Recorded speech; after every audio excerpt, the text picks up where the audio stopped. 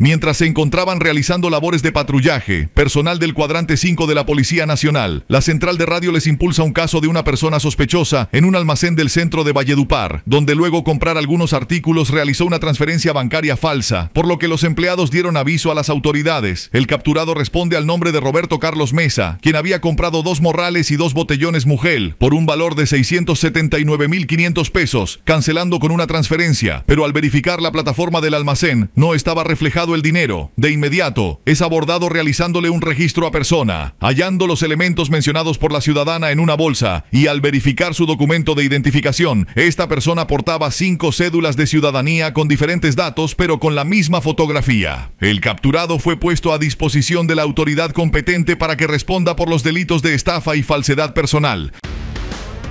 ¿Necesitas seguridad preventiva vehicular y cuentas con poco presupuesto? En Centro Multiservicios GPS Alarma CJ tiene para ti la forma más fácil y económica de lograrlo. Paga el monitoreo de seis meses y el GPS te lo prestamos en comodato, instalable con garantía. Me acaban de robar el vehículo de placa APN 31E. Señor Mesa, ¿se encuentra usted bien? Sí.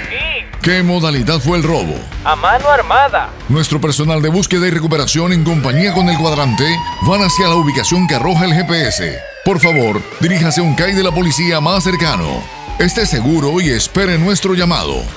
No esperes a que te lo cuenten. Rueda Seguro 4G por todo el territorio nacional 24-7. Contáctanos a la diagonal 18 de número 2050 Valledupar o nuestra cuenta Instagram arroba GPS o nuestra página web www.gpsalarmaclj.com. Nuestra prioridad es tu seguridad y la de tu vehículo.